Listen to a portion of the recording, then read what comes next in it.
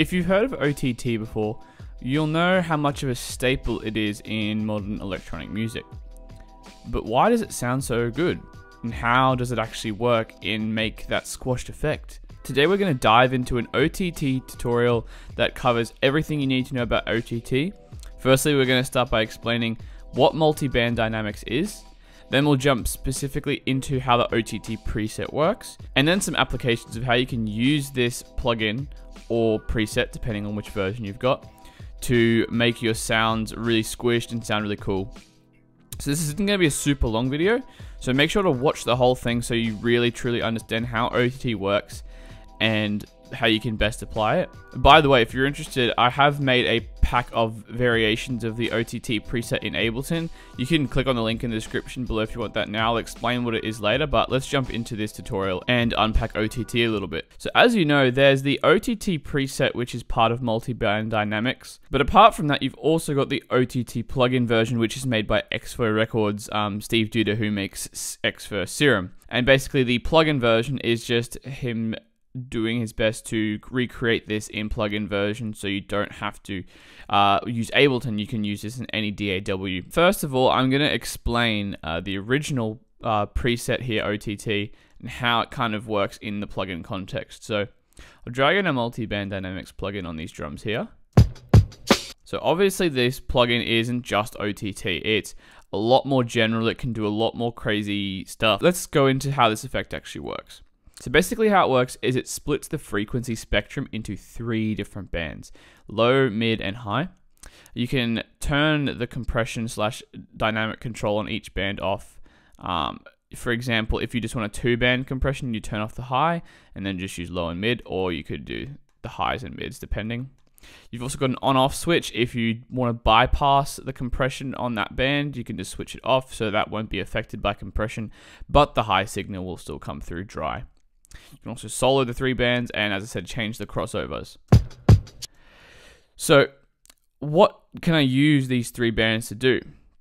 Well, basically, each band has two lots of dynamics controls, uh, one on the up side and one on the downside. The upside applies either downwards compression, which means it's heading, it's making the signal back down once it crosses the threshold, or upwards expansion, which makes the signal go louder when it crosses this threshold. Uh, conversely, on this band, you've either got upwards compression, where it's pushing the signal back up when it goes below the threshold, or downwards expansion, which basically acts like a gate, if you know what that is, where it reduces the signal once it drops below the threshold. You've also got attack and release for each band, uh, which allows you to specify how fast it's going to react on that specific band. You've got input and output gains, so you can really drive the signal into each band and then control it with the output depending on how loud or soft it ends up being as a result of the compression. You've got your um, display here where you can click and drag as you can see there. Clicking down turns it into that downward downward compression rather mode, whereas having that blue and clicking it up makes it the um, the upwards expansion. And same on this side, you got upwards compression versus downwards expansion slash gate. You can set the threshold by dragging the corners of them. You can also shift drag to adjust all the ratios of the bands. You can see that blue line there is the input uh, output signal. The yellow line is actually the input signal. So down here you've got soft knee which is on by default. It just means the compression that's applied is gradual rather than immediate once it passes the threshold. You've got RMS here which you can switch to peak mode but RMS is a bit more of an even sounding compression. It reacts a bit slower uh, to the average loudness of the signal rather than to the true peak value which I won't go into in this tutorial, but it's really handy to know that. Uh, lastly, you've got the output overall gain. You've got the time control, which scales these um, attack and release values here, what I was talking about earlier, uh, on a percentage value. So if you want to uh, change the timing of all these bands simultaneously, you can use this time knob here and scale it back or downwards. Then lastly, one of the most important features of multi-band dynamics is the amount knob here which allows you to dry wet the signal so that there's not as much compression applied and you're allowing some of the dry signal through on all of the bands. So that's just the basic multi-band dynamics plugin. Now let's load up OTT and see how exactly this preset is formed. So there's quite a lot different from the default preset you would have noticed as I dragged this one in here. So let's go through the main differences. Now, the low crossover here is a bit lower. So we're really just applying this low band to like those sub frequencies, which gives it some tighter control. Uh, you've also got quite a bit of gain on the input signal. Soft knee and RMS are the same, so we're getting that very even compression. But the real magic with the OTT preset is the settings of these thresholds and ratios and attacks and release. So we've got pretty standard attack and release for the specific bands. Obviously, faster attack and release times are going to work better on high signals because they are a lot shorter of a wavelength. So we can really smash those with this attack and release here, whereas we're leaving a bit more room with the attack and release on the lows, especially the lows with the attack there at 47. Uh, it's still quite fast, but it's just really allowing those frequencies to breathe. Otherwise, they'd be kind of distorting if you were compressing them any faster. But the the real important thing here is first of all the above thresholds are all set around the same. Uh, we're allowing the mids a bit more room to breathe because compressing the mids too much can squash the sound in an unpleasant way, whereas highs and lows are a bit more, I guess, texturizing sounds and they kind of can be squished to get a really, really cool effect. And with the highs in particular, as I said, we can really get away with brutalizing those highs. So we're literally limiting them and with these ones, we're a tiny bit relaxed, although not much more, with a 66.7 to 1 ratio there.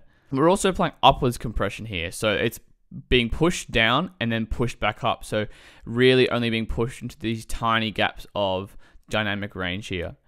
And it's a 4 to 1 ratio approximately. So it is pretty heavy, but a bit way more relaxed than the other ones. It's not absolutely smashing the sound. If you know how compression works, then for every 1 dB over, it'll be a quarter of that at this ratio, so 0.25. So that's really good to know.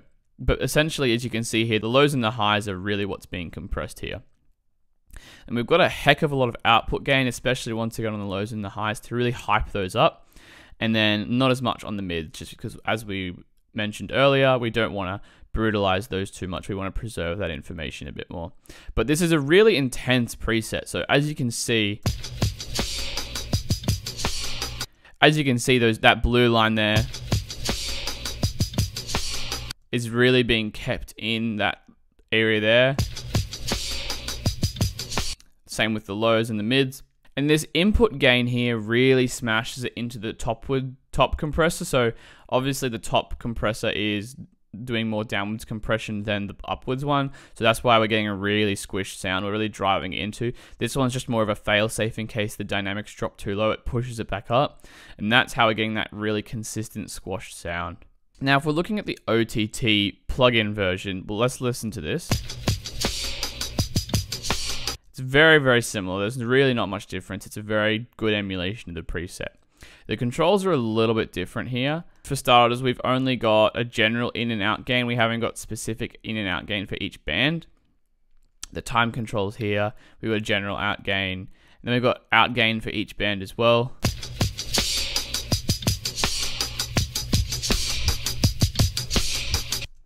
And then the amount of compression upwards and downwards.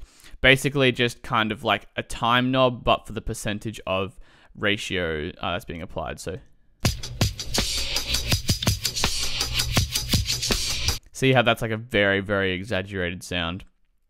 And then once again, we've got the depth knob so we can dry wet this signal.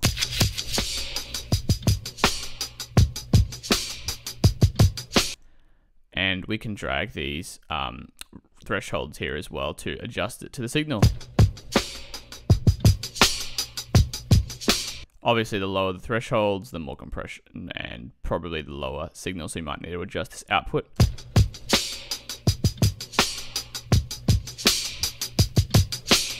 And as we mentioned, this depth or amount knob on the original is the real kicker with how it actually um, allows the signal to work really well. As you can hear, this is a lot of compression on the on the drums.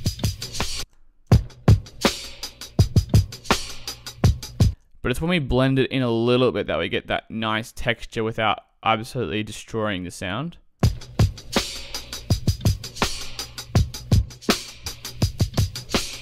Alright, so I've got this song here which I've been working on, and it's got OTT used on the drums, uh, different drums, loops, and samples. This is what it sounds like without OTT.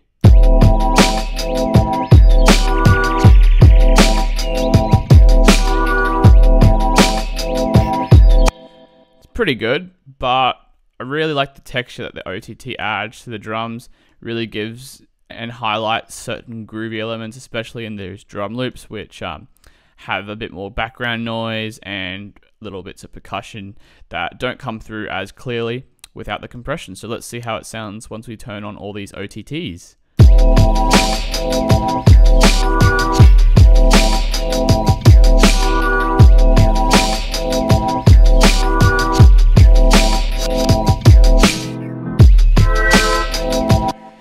Really controls those drums, especially on this drum loop here.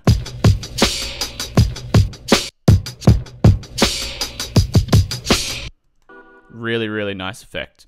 So, for example, on drums, the best way to do it here is what what it does is it really kind of accentuates, as I said, those um, hits and it brings up those lower percussive elements you don't normally hear, so you get a really thick drum sound.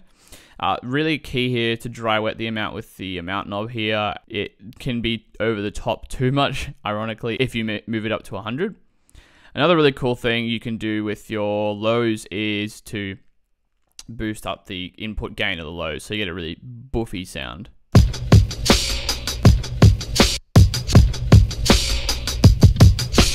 Same with the output gain. So what I've also used on here is this textures effects sound, and you would have heard this in the intro.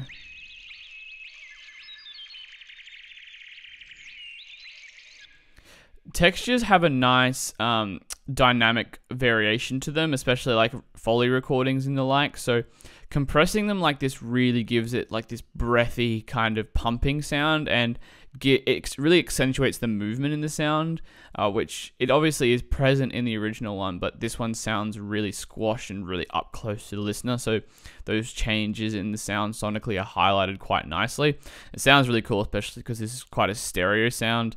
Now I haven't used it on any synths or bass in this track, but if I was to use it on here, uh, the, the really key thing like the texture is in your sound design process, you want to add movement to your sound. So this ARP sound here that I've used as a sample, if I was to add compression to this, I'd be looking at adding like, you know, envelopes and LFOs to modulate certain parameters. You know,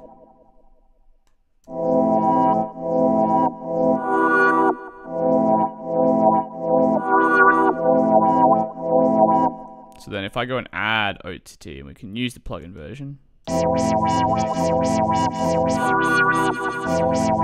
See how those filter sweeps are really accentuated? That's kind of nice, and that's what gives it that character. Whereas if it's just a boring static sound, uh, and I'll undo that, and I'll undo the filter.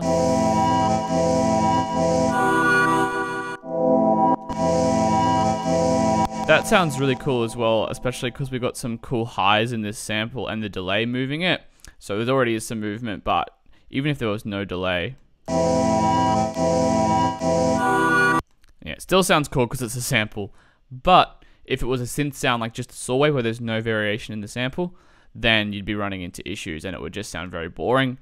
Um, which is okay sometimes you just want a boring sound you don't necessarily always want super interesting if it's a like a layer or something but just something to consider if you're wanting to make it a bit more interesting. And just some general pointers with OTT because it really depends on how you use it on a variety of different sounds but you can switch out this hard to a hardening and peak if you want even more intense compression. Uh, for example on here